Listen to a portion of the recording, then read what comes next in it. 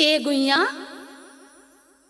देखो राम जी मिथिलापुर में धनों से तोड़े हैं तो माता कौशल्या और राजा दशरथ जी कितने खुश हैं। और अपन के मागर माटी लेवे तो चल रहे हैं ना। अब देखो खबासन ने बोला हुआ तो दे दो, चलो चले मागर माटी लेवे